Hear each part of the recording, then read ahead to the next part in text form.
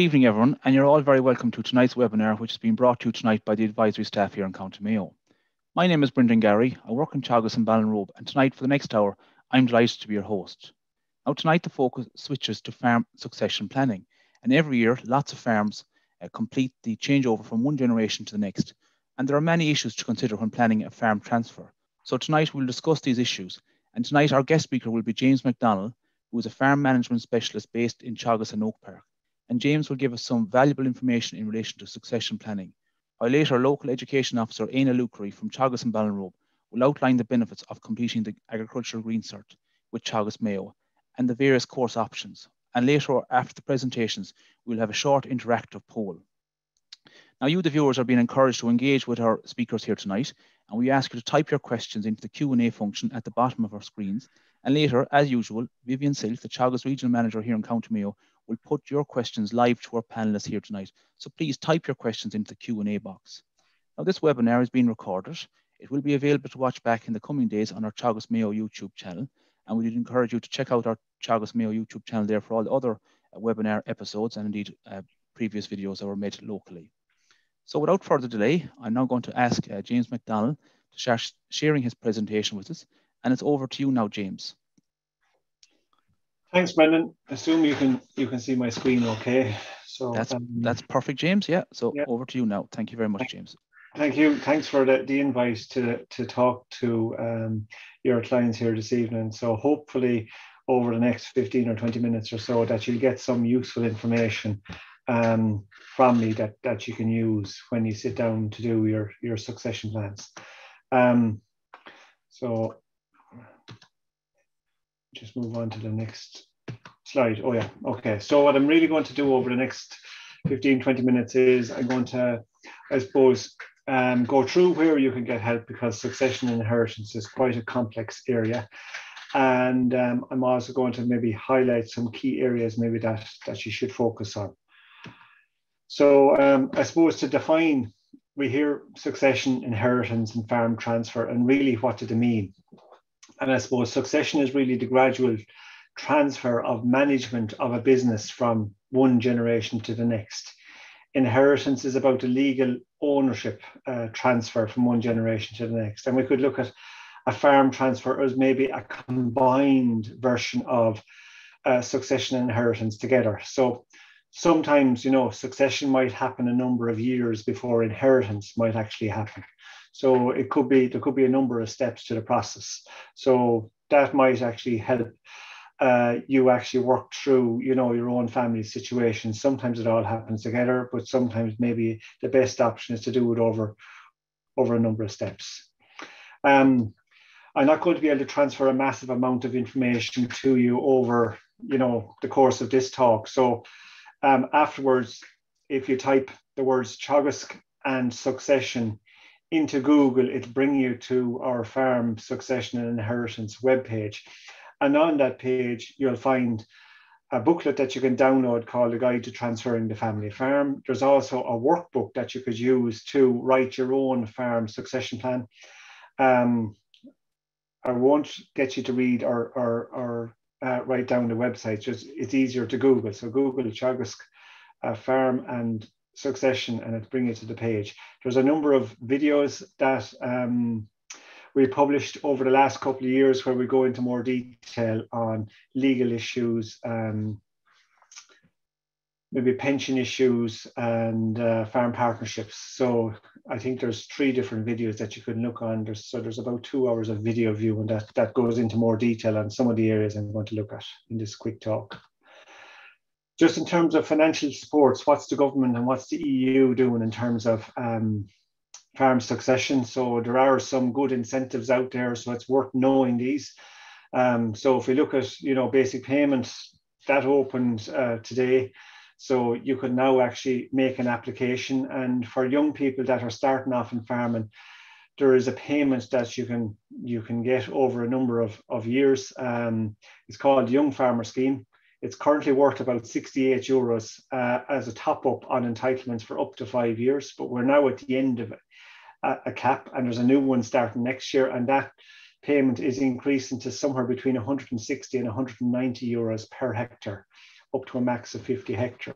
So if we look at the average farm in Ireland at around 30 hectares, it could deliver five grand a year for five years. So it's a nice incentive, you know, to start uh, young people off, and it might cover legal expenses and, you know, other costs associated with transfer. So that's good. Where there are no entitlements, uh, it is possible for young people to go to a national reserve where you're you're given an average value entitlement. So the current average value is worth 180 euros. And if you were to get that this year and get a green payment on top of it, it brings you up to 250 euros plus the 68. So you're at over 300 euros per hectare. So it's a nice incentive to help getting young people started off. There's also the other incentive. If you're taking over a farm, um, people taking over generally look to develop the business. So to look for a grant aid for maybe uh, building slatted sheds or doing other types of investments. So there's a TAMS grant. So it's 60% for for young trained farmers as against 40% for everybody else. Registered Farm Partnership Grant. So maybe you're not going to do all the steps uh, together. You're going to do maybe um, some succession before you do the inheritance. So that maybe the older generation and the younger generation start farming together in a registered farm partnership. So there's a grant available to cover up to 50% of the costs associated with setting that up. So there the EU uh, type grants. And then if we look at our own government policy, there's a number of tax relief. So there's stamp duty relief for young trained farmers. There's agricultural relief against capital acquisitions tax. There's stock relief against income tax. And there's a succession farm partnership income tax credit, uh, which, you know, helps, uh, I suppose, reduce the tax bill when there's two partners farming together, where ultimately there will be a farm transfer over the course of the partnership. So who can uh, you go to help? So I went on Google Maps and I took a picture of the Ballinrobe office. So this might be your first port of call where you go and talk to um, to Brendan and Eanna. Uh, so your local advisor. So you can talk to them about the cap entitlements, what EU schemes that you could avail of, um, how you go about moving herd numbers. Is collaborative farming an arrangement that maybe you should be looking at, or if you have some general questions around farm transfer in relation to courses and you know qualifying for some of the, the reliefs there are education uh, requirements. So you could talk to the education officers. Maybe part of the farm transfer maybe forestry is being looked at as an option. So there are forestry advisors uh, that can help deal with those kind of queries. So uh, you could start with the local Teagasc office. But there's a number of other professionals that can also uh, help you out. So when a farm is being transferred there are tax returns that need to be made. So there are capital taxes. So we're talking about capital acquisitions tax, capital gains tax, and stamp duty. When you're actually doing the, the farm transfer, you know you're transferring assets. So that's a legal job. So solicitors will be involved. Um, so they can start with maybe writing a will, or if there's certain benefits you want to confer to other parties in the family, maybe there's some legal security that that you want to um, have as part of, of the transfer. So maybe you retain and right of residence in the farmhouse or something like that. So solicitors will deal with that area. Citizens information are a very useful service. They're funded by the Department of Social Protection and they can give advice on the fair deal scheme, maybe pension, um, what kind of a pension you might be entitled to, and what other entitlements the state can benefit uh, give you when when you uh, reach certain ages and maybe when you're you're stepping back from from farming. So very useful service.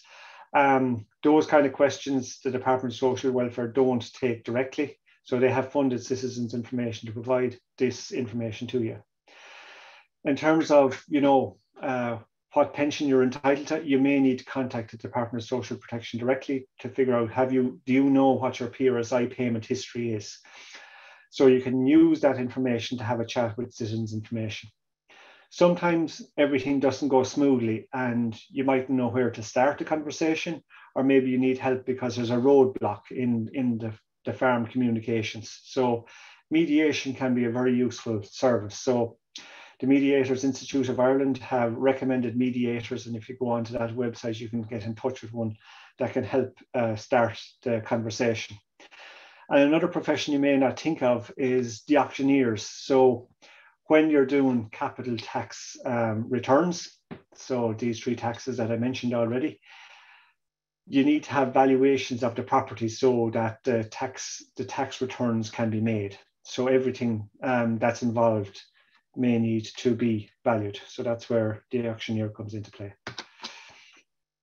Um, I suppose the starting point for most people is, you know, and, and we'll do a poll on it later. Um, you know, the, the, the farm owner or the current farmer has he or will made or, or she.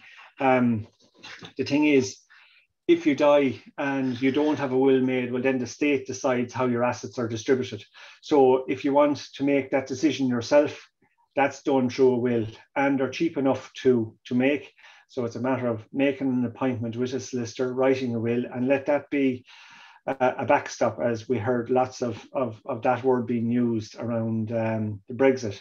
So the will is ultimately a backstop. So what happens if the un, unforeseen happens? So you can have that in, in your will until you have your, your full succession plan done. And if there's no will, well, then the intestacy laws uh, take, take precedence and um, that's decided as per the 1965 Succession Act. I think at the time the Minister for Justice was was a famous Charles J. Haughey, so he was involved in, in writing in writing the Succession Act. Um, so I'm, I'm now going to look at a list of family questions maybe that you might ask yourselves or your family. So the first one I've covered, do you have a will? The second one might be, have you had a discussion with your family or is there, you know, is there telepathic, um, you know, is a discussion taking place in, in people's heads, but not actually out in the open. Um, so communication is the key to getting all this right. Succession is not the easiest thing to do. Do all the family members know their position? So sometimes it's it's unsaid, but maybe uh, John went off to work in Dublin and John has bought a house. Actually, John is fine. Mary has stayed at home, so Mary is getting the farm. So there's nothing said so really, all of this needs to be out in the open, and we need, um, you know, to have this conversation so that everybody is on the right page, and then there'll be no conflict. Something that's useful maybe is a personal affairs checklist. So we have one on our website. So when you get to the, the farm succession page, scroll down and you can download this.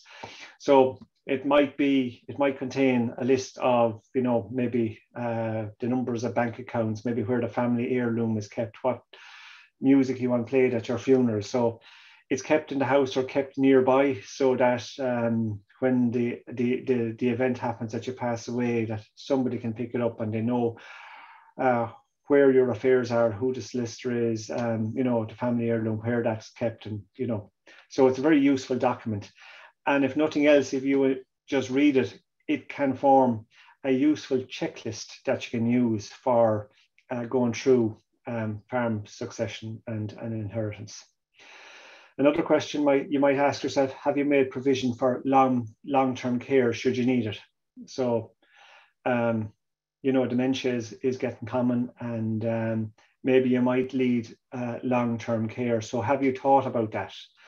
You know, um, not everybody passes away suddenly, and you know that's that's the easy way to go, and it's the way people maybe want to go. But if you end up needing care and your family aren't around to care for you, how are you going to fund that?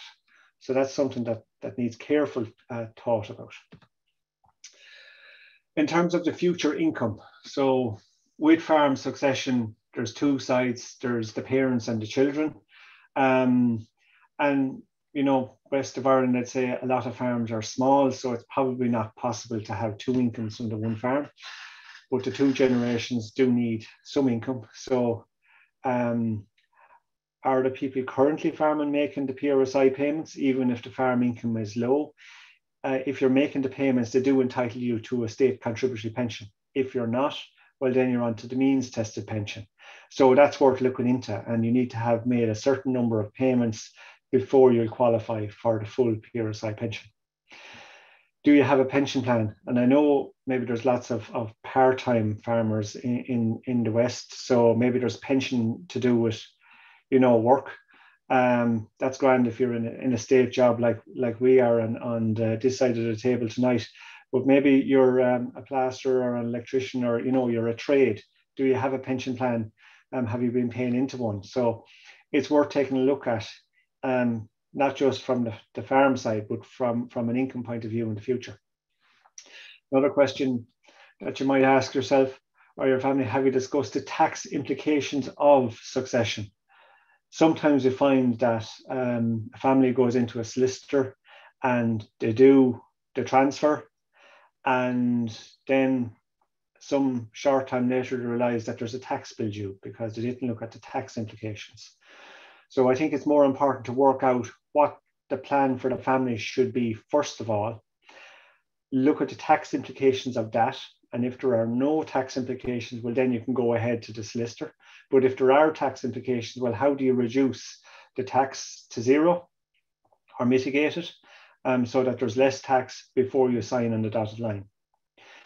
Are there any risks to the succession plan? So every family is different. Maybe you might do a plan a certain way and then something happens, you know, maybe uh, it was the wrong plan to do. So you need to think about the unforeseen um, or the unintended consequences.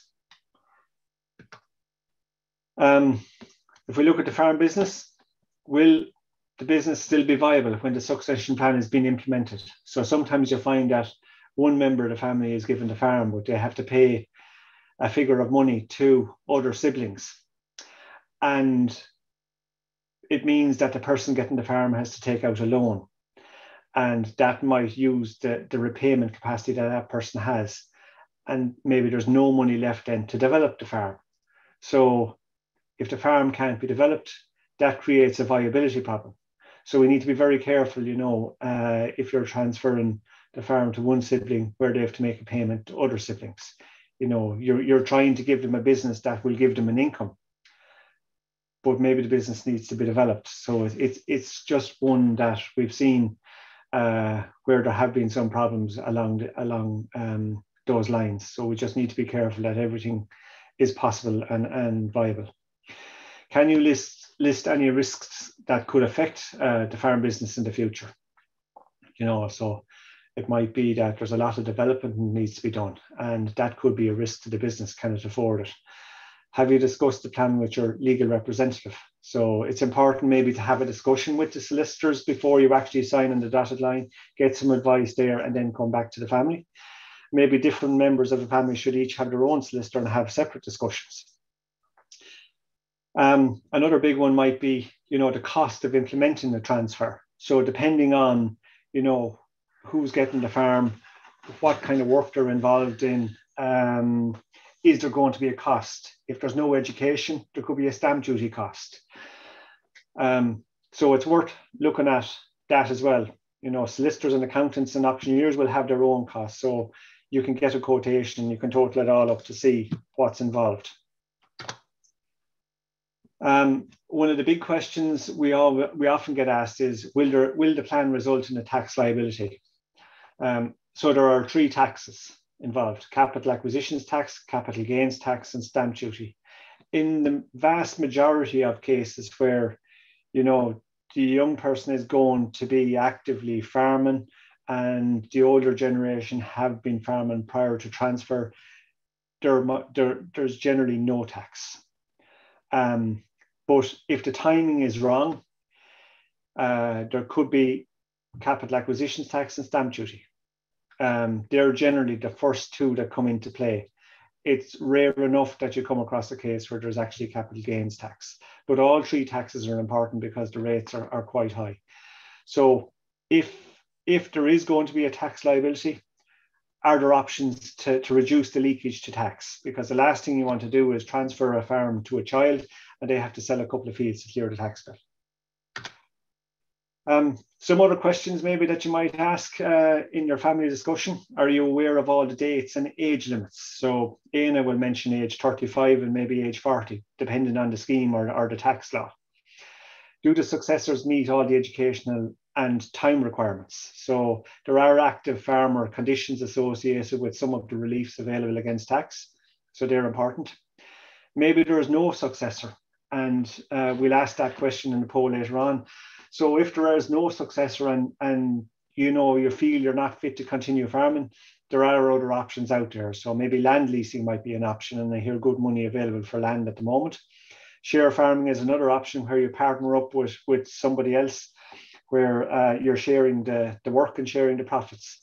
Um, that's generally used in, in, on tillage farms, but it can work on, on, on grassland farms. Um, registered farm partnerships is another option, and maybe forestry is a final option where you can you might plant some of, of your land, maybe the land that's more suitable to forestry, while you might lease other parts of, of the farm and you get a tax-free income from forestry. So that's also an option. Um, so just, just to finish up, um, you know, there's a lot of time involved in uh, trying to put a succession plan in place. And it's always better to go early than too late because when you're too late, you might end up with the large tax bill. So I would say better go three hours too soon than, than a minute too late. So um, I hope that um, you've got something from this. Uh, I know Brendan said it's, it's, it's recorded, so if you missed some of the questions, you can have a read back over it. And if there's any simple questions there, I can I can take them now or, or later on in the in the forum. Thank you very much, James. And look, at that's an excellent presentation. And indeed, look at uh, James, we will come back to you for questions. I see a lot of questions coming in. Uh, we have a huge number of farmers on this evening, so I'd encourage you to put your questions in there. Uh, we'll have good time for questions uh, later on. So at this stage of the evening now, I'm just going to uh, ask my colleague Eanna Loughrey there from Teagasc and Ballinrobe to start sharing his presentation with us. And uh, just remind you again, you can keep putting your questions in there and we will come back to you at the end when Vivian comes on and Vivian will put the questions to our panelists. So over to you now, Eanna. You can see my, my screen there, Brendan, can you? I can indeed, yeah, that's perfect. Now, thanks very much, Eanna. That's brilliant. Okay, so uh, I'll be covering the benefits and delivery options uh, for the Teagasc Green Cert course and um, courses that we deliver here in Ballinrobe and in, indeed Ballina as well. So a little bit about the education program um, that we're running here in the Mayo region we have two regional education centres, one here in Ballinrobe and one in Ballina. And I suppose such is the demand of the Green Cert course in recent years. We're currently running six courses um, from these centres with help from facilities such as the Ball Resource Centre um, and of course our host farm farms and farmers as well. And I suppose a few le less lesser used facilities such as the the Mayo Sligo Mart there in Ballina and the Ballina Ballinrobe race course, um, where we where we might run some skills there, tractor driving skills. Uh, so there's a lot of stakeholders involved in running the the Green Cert course here in Mayo, uh, and a lot of involvement involvement from the wider community. Um, so the Green Cert or the specific purpose certificate in farming um, like we, we have two we have two courses to choose from here in the Mayo region, uh, and then you have the third, I suppose, option, which is the, the ag colleges, um, going to one of the ag colleges. Um, so we have the distance education course and we have the part-time course. Uh, both are for adults over 23, uh, and then the ag colleges is for anyone who is under 23 looking to complete the Green Cert course. And we have of course, I suppose Mountbellew, Ballyhaise, and Gurteen are probably some of the, the closer ag colleges that you'd you'd be looking at. Um, so, looking first the the distance education course, um, you you'll need a QQI uh, level six to apply for this course. What do I mean by that? So, that's an apprenticeship or a, a level six cert certificate of some sort. And the reason for this is there's a lot of self-directed learning uh, in this course. And what I mean is there's a greater responsibility for the student uh, to study in their own time. Uh, it's not as much contact time as the part-time class. Uh, you might have about between 20 and 25 contact days uh, over about 18 months. There can be some variation in the total time taken, but generally in Mayo, it takes about 18 months to complete. Uh, and for the student, that translates to about a day or two a month contact time, which could be online, could be on farm, uh, could be in the classroom. And hopefully going forward, we'll have a, a bit more class classroom time. Um, this course is not as such an online course. There's a nice bit of contact days or contact hours, but um, I suppose the best term to use to describe this course will be a blended, blended learning model, uh, where we try to facilitate the learner as much as we can. Uh, and that the theory is covered online and the skills days are delivered on farm or in the office. Uh, and I suppose we're trying to move back to a more familiar routine um, these days. So there's obviously going to be skills, exams, practicals, and assignments. There's a, they're all part of the course, and that's I suppose some of the content that students will be ex expected to cover. Uh, so what is the certificate? It's a level five certificate in agriculture and a level six certificate in agriculture. And com combined, even though we look at it as, I suppose, the most common term used is the Green Cert, um, you'll need both of these certificates to draw down grants. So essentially, the Green Cert is uh, the level five and level six combined. Um, the part-time option then, um, so it's the same as the distance education course in the sense that it's the level six and level five certificate combined. Uh, it has in in in the regional programs it has minimum age requirement of 23 years of age, and it differs differs from the distance course in the contact hours. So with a part-time course, we look to complete complete it in two to two and a half years, um, and this kind of translates to a day a week. And this has always, I suppose, been done during the week. Uh, I suppose before there have been, I suppose, evening classes, uh, and I suppose gen generally uh, people there, there was a greater demand for the the day the day courses.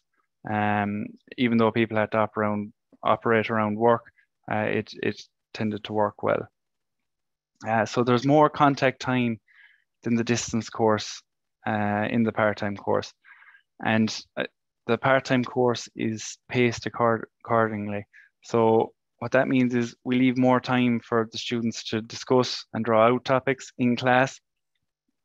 And uh, often you'd hear maybe students, I suppose, saying that, that they learned something from one of their colleagues or one of their, their fellow students in class. And it, I suppose it's a good way to build up relationships in the community as well. Um, it's, it's, it's, we just have more time in class in the part-time course. And it's, it's one of the big advantages of the part-time course. It's, it's just slower paced. So the course benefits. So I suppose the course benefits, in our opinion, starts with strong delivery of skills um, giving students a strong foundation in areas such as animal husbandry and land use management. Most of the students availing of the course are from beef and sheep, sheep backgrounds here in Mayo, um, uh, but there is a certain amount of dairy students as well. So our delivery, our delivery of skills uh, will will vary depending on the needs of the students, and we try to we try to facilitate uh, as inter- I suppose an interesting course for the students and try to keep students engaged. Exposure to excellent local farms is probably one of the strongest areas of the course, um, where we show model farms uh, to the students lo- lo- or in the students' locality, which is, I suppose, great for the students as they can relate to these farms more so than some of the larger college farms. So we, we really get into the community and I suppose there's good role models there already, and we we take advantage of these. So I suppose no farmer farms the same way, and the students are exposed to different methodologies to achieve achieving best practice. Um, students are shown how to farm safely and minimizing risk to themselves and others. And of course, there's a big emphasis on sustainability and environmental or environmental issues these days. And our students are shown how to farm sustainably and environmentally friendly with a greater focus on carbon friendly farming. Um, and of course, this course uh, looks to set students up to make the best attempt at making a living from farming. Um, a lot of students work part-time. Uh, and we know the importance of a good work-life balance and ensuring facilities are set up uh, on farms so students can farm safely on their own farms. Uh, and of course, this is also reflected in the selection of host farmers uh, we bring students out to. So they, they, they often come away with uh, good ideas for, for their own farms as well after the, the farm visits. Um, training in com computer skills and farm financial management skills is an important aspect of the course. There are a lot of products out there that people can use, um, like the Profit Monitor or Cost Control Planner. Uh, so we ensure students have a good knowledge of these products leaving the course.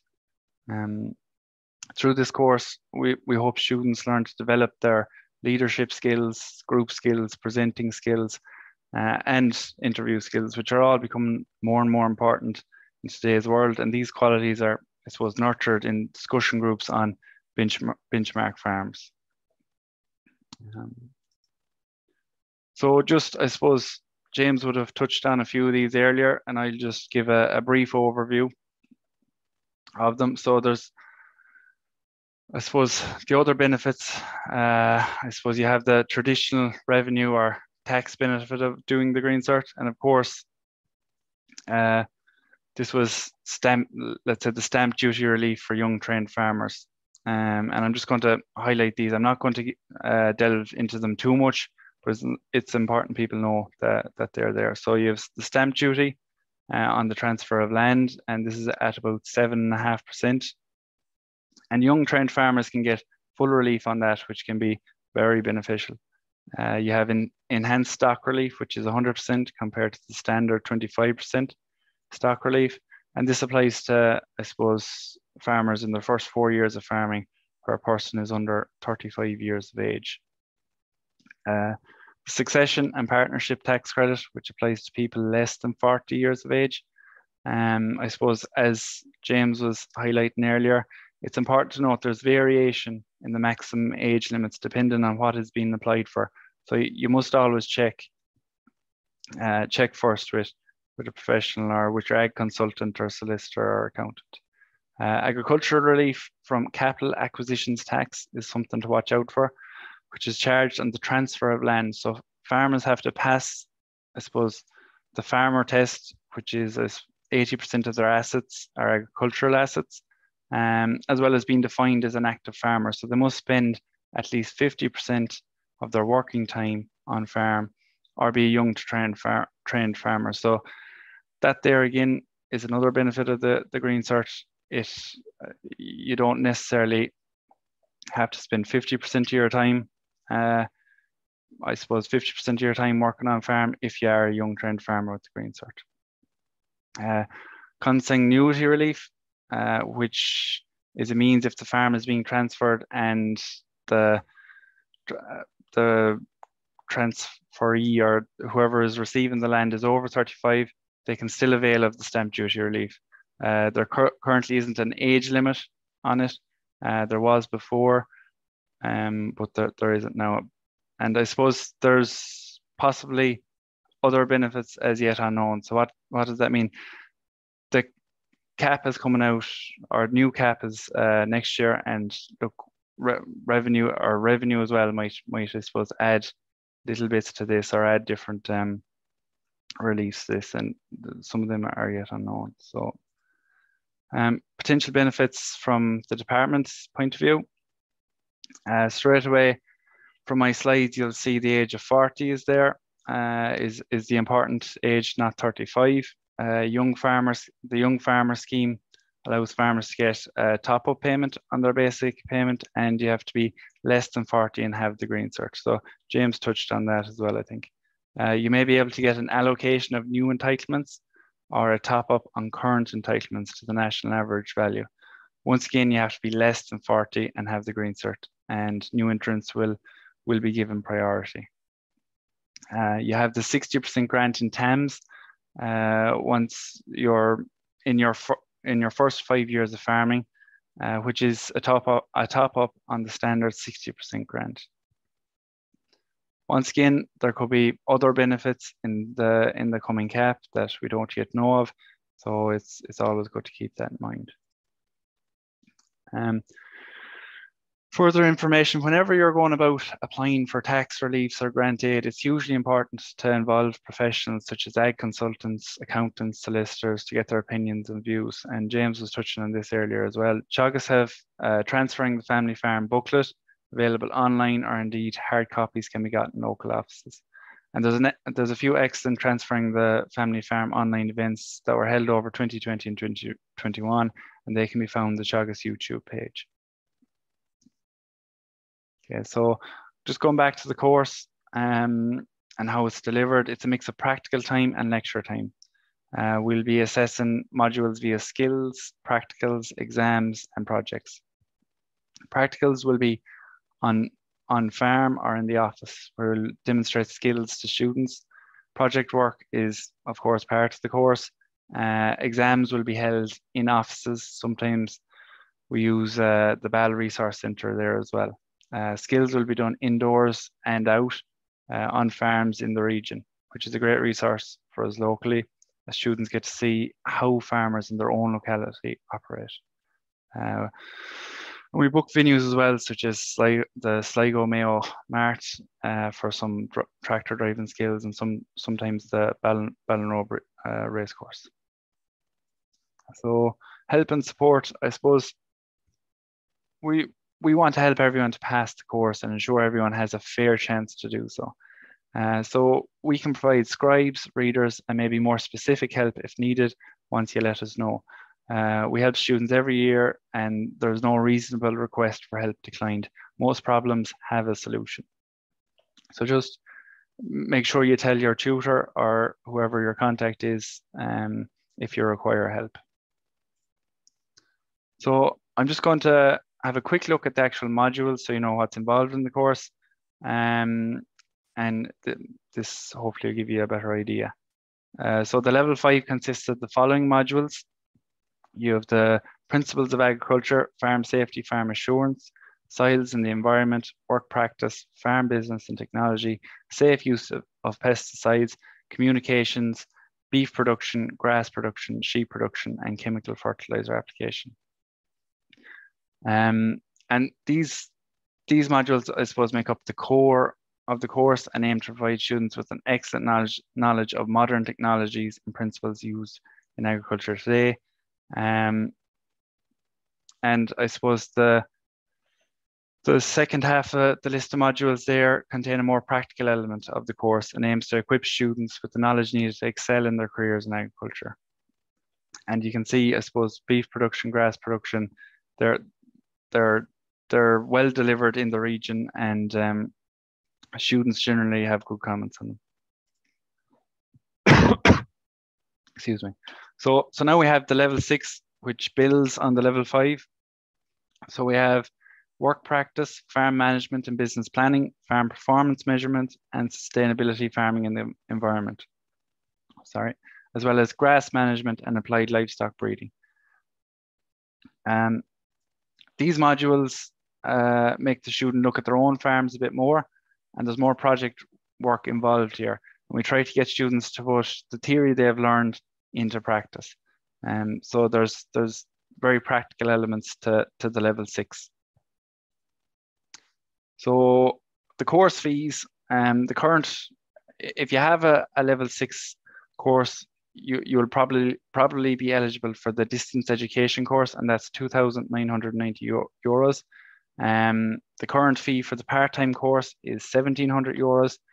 But if for some reason uh, you opted for the part-time course and you have a level six, uh, have a level six award already, there's an additional fee of a thousand euros. And this is because you've previously completed a level six course and you would have availed of capitation before. So I suppose that's just one thing to note there. If you do have a level six or course completed, you should gravitate maybe towards the distance course. Uh, fees can change, so just always make sure you, you, you, you inquire. So progression. so a lot of people return home uh, and maybe go part-time farming, but there is there is an option to add a few more credits the green cert we offer and complete an advanced cert, cert in agriculture. And from there, you can progress on to maybe completing a level seven degree or even a level eight degree. Uh, and indeed, uh, we, we have uh, advisors in Teagasc who started that way and they, they completed the, the level the, the level eight degree and started with the green cert. So look, if you have any questions, email Cora Owens at cora.owens at teagasc.ie. She's um, the education administrator in Mayo and is very good for answering queries um, or indeed contact any of the numbers given at the start of the presentation. So I think that's it there, Brendan. Thank you. Thank you very much, Eanna. Now that's ex excellent. Um, so indeed, at this stage now, I'll just get you to stop sharing your presentation, Eanna, if that's okay. And um, so just for one moment or two, I'm just going to just um, just going to launch a short little poll that we have um, put together there for this evening, just to try and gauge the interest and just to gauge some some of the insights in relation to our viewers this evening. So um, uh, it's going to be four short questions. And the first question is there is, as James mentioned, do you have a will made on your farm? So we have a lot of farmers on this evening. So hopefully, look at this is something that um, we hope will, make an impact. So you should be able to hopefully get viewing now at this stage and maybe get some uh, results in. So do you have a poll med and you have a yes or no option there?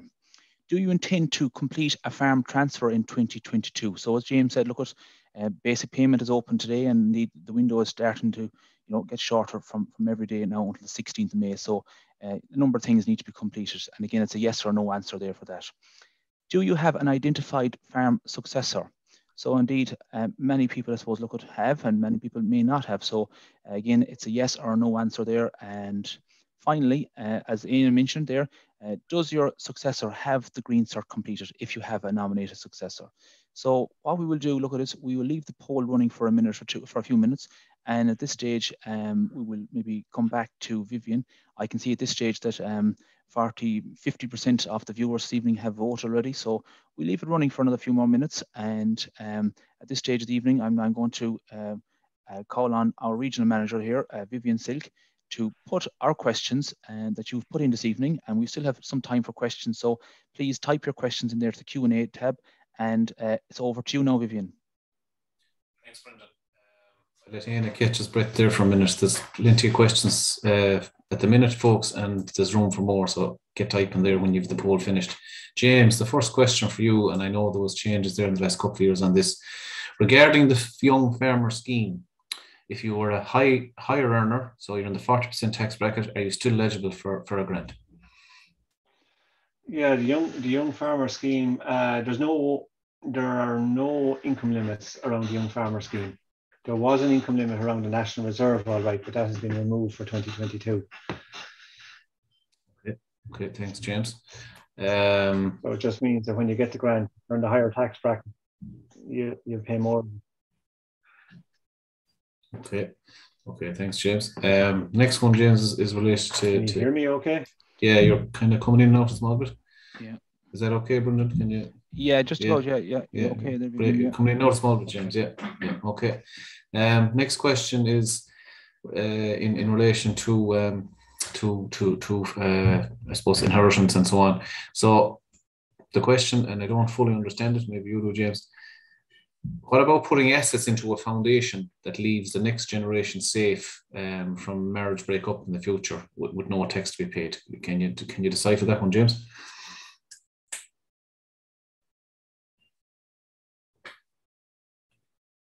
Yeah, I can. I, I might turn off my video. The line might be clearer. Um, Okay. what I would say in, in relation to uh, farms being transferred and when, when you're worried about, um, you know, what might happen with the next generation, I would say don't transfer the farm until you're happy that whatever the next generation does with it or whatever happens to their marriage, that you can live with the consequences of that. So you can't kind of rule from beyond the grave or from beyond. Once you give it, you can't take it back. So some people would look at putting land into trust or, or maybe, um, you know, transferring the land to the grandchild, uh, but the parent has the use of it for their life. So there's different things that people can do. But I would say on the whole, once you're happy that you can uh, live with the consequences of whatever the child does with the farm when they're given it, I think that's the safest uh, place to go. Okay, and the next question is more or less directly related to that, and you alluded to in your answer there, James. What are the implications if farm inheritance was to skip a generation? So basically, a grandfather passing it on to a grandson or a granddaughter, indeed. Yeah, that's a that, that's a good question, Vivian. Um, I do come across cases every now and again where you know the the farm owner might be in their 90s and, and, and the next generation is in their 60s and they're not ready to, they don't want to farm, they want to give it to the grandchild that's 30. Um, the tax is higher. So you need to, you know, the threshold for CAT is is 336 35,000 for parent to child, but parent to grandchild is 32 and a half thousand. Yeah. So you might decide you might have to run it through two steps. So give it give it to the child, but but they might lease it directly to the grandchild. So there's a way around it, but it's not easy. So yeah, no, yeah, yeah. So ultimately, ultimately, you'd need good tax advice from an accountant or uh, you know someone professional for that.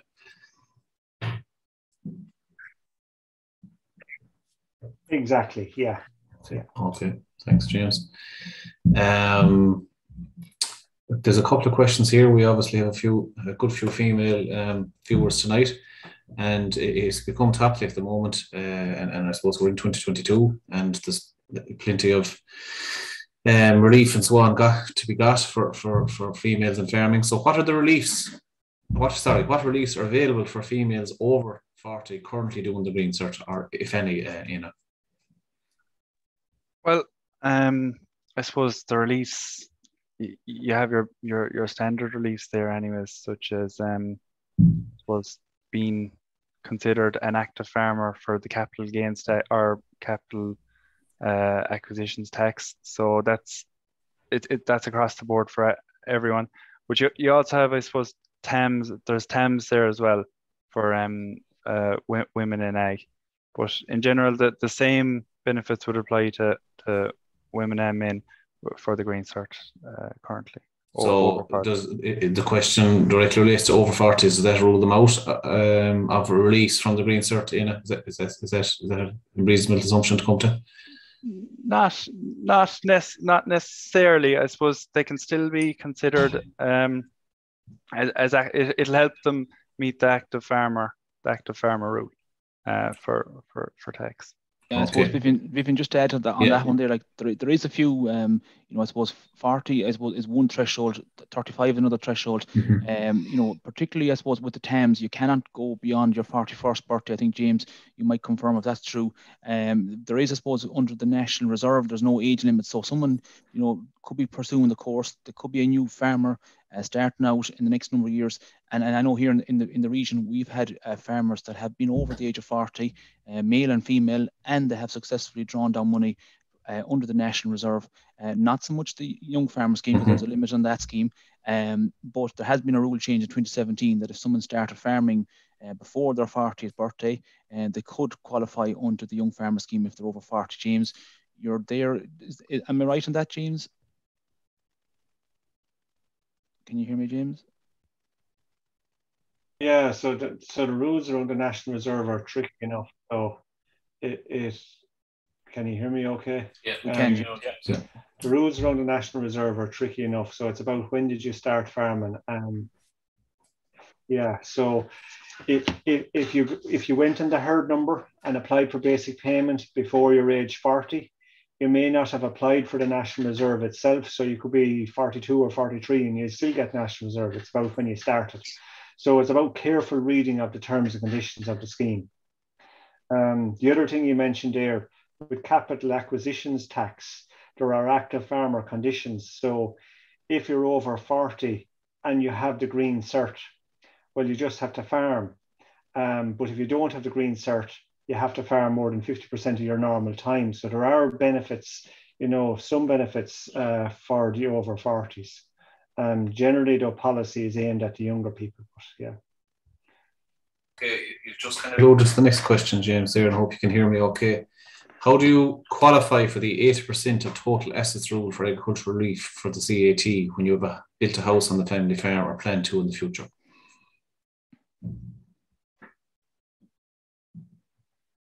Okay, so um, the person receiving the assets, mm-hmm. it's about uh, after the transaction. So when they have received the assets, value of everything they own, uh, plus everything they've received. So the total assets.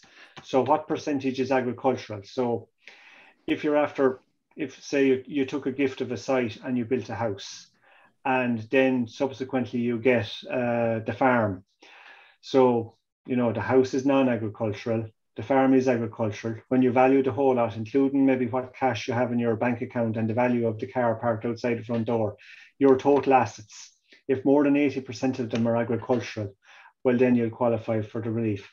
Um, just on the principal private residence, if there's a fairly large mortgage, um, you can reduce the value of your principal private residence by the balance on the mortgage. So that comes into it and it makes it a little bit easier.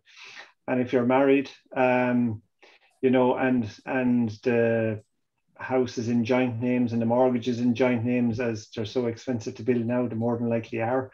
Um, it's half a house and half a mortgage then is what counts as the non-agricultural portion. So it's about sitting down with all your valuations and, and having a chat with an accountant, you know, make sure that um, there's no leakage to tax and you can claim the benefit.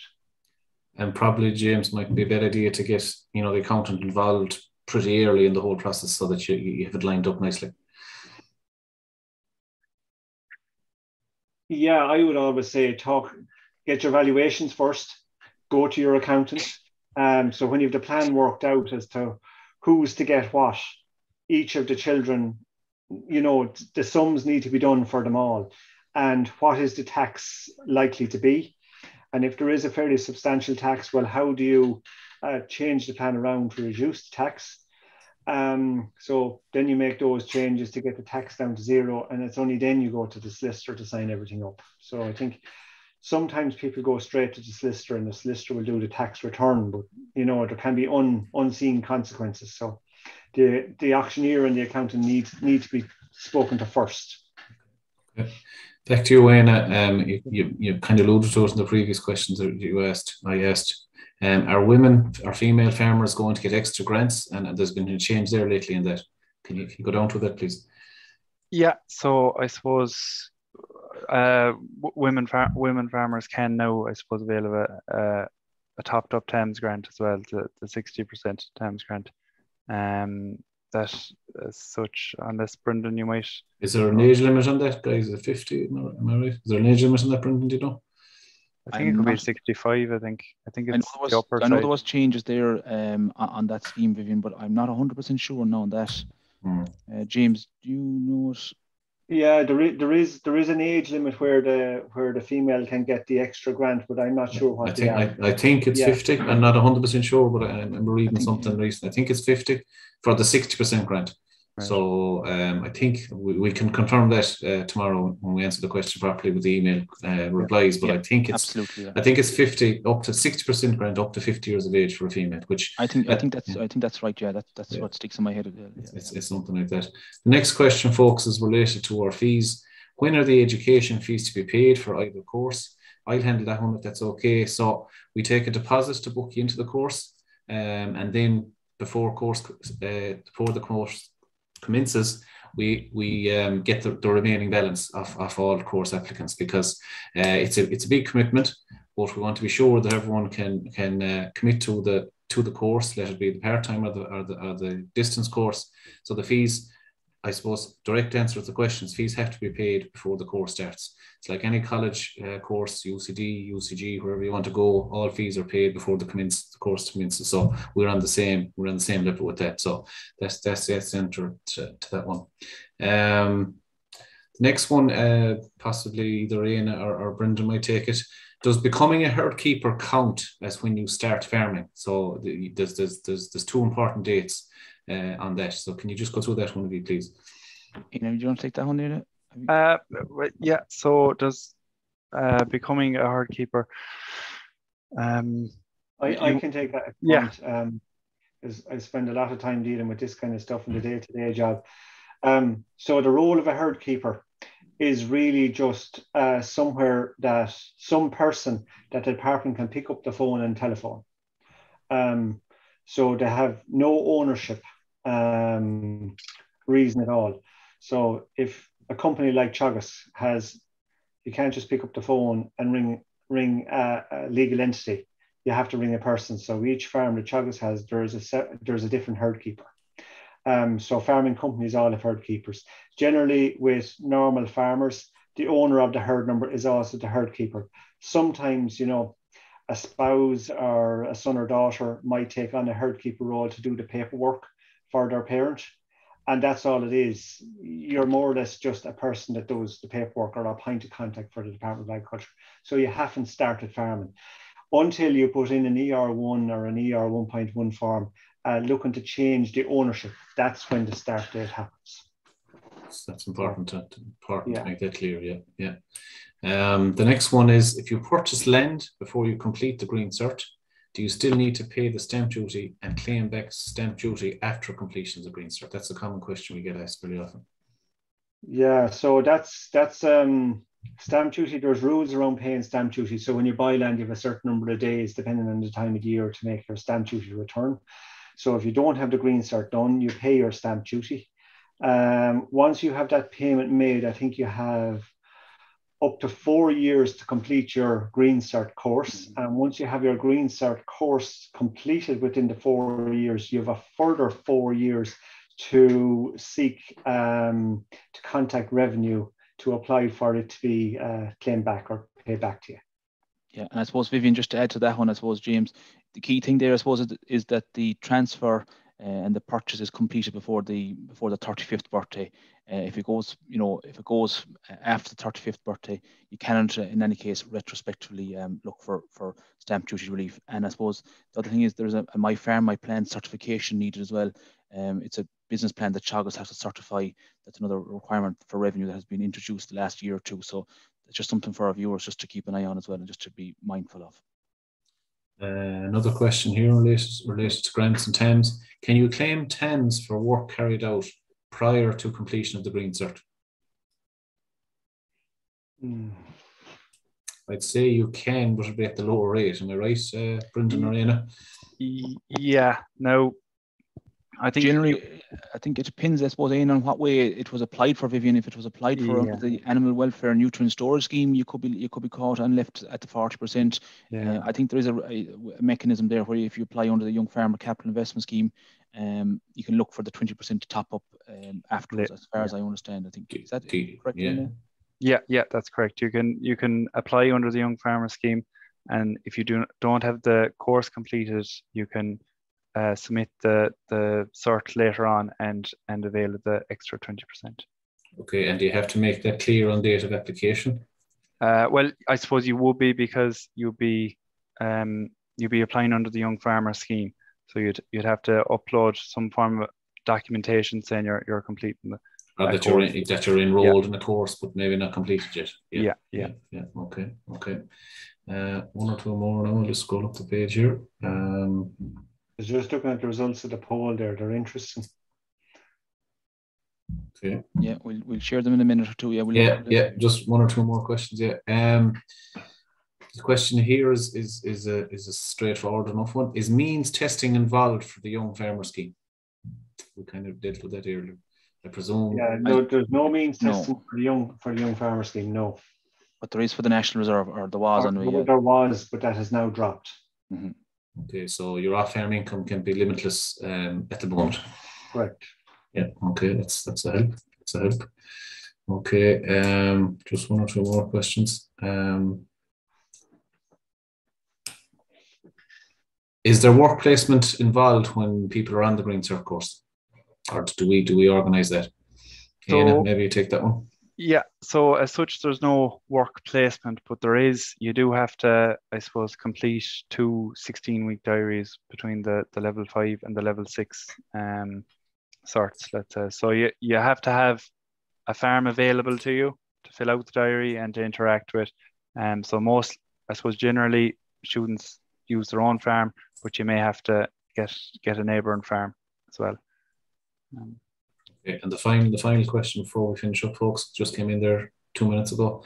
How much of the grant covers the price of the weight scales um, in in the in the in the um, mobile equipment scheme? Do you know? So if that, that weighing scales for cattle, we'd say. Yeah, that, that'll depend on, I suppose, which which you're going for. So it's sixty percent for a young farmer or forty percent for a, a non-young farmer of the price excluding that. So mm-hmm. I think there's a limit there of about 1100 euros excluding that as well. So you just have to look at the reference costs and and work work that out. Okay, thanks very much, folks. I'll hand it back to Brendan now to conclude. Thanks very much there, Vivian. So at this stage now, I'm just going to uh, share the res results there of our poll, uh, which you, the viewers at home this evening, uh, interacted with. So uh, we can see there that um, pretty much a dead heat there. 49% of you have a will made and 51% of you don't have a will med. I think that's maybe, you know, an indication that there's one in every two of you there that, um, you know, has a call to action, maybe, you know, in terms of completing a will.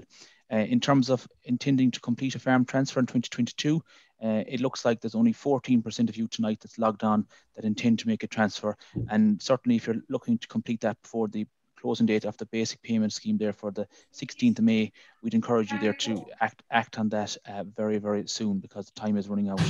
Um, we also asked you there uh, how many of you have an identified successor, and 75% of you have an identified successor. So that's a very uh, good news story anyway, and 25% of you don't yet. So there are options, as James mentioned there, in terms of leasing and different other collaborative arrangements, and you could also talk to your local advisor or consultant on that.